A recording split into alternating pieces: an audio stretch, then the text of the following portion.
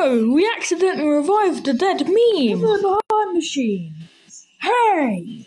Assemble the time machine. Put Jones inside of it and go off on your time travel adventures. New time machine with Jones from Definitely Lego.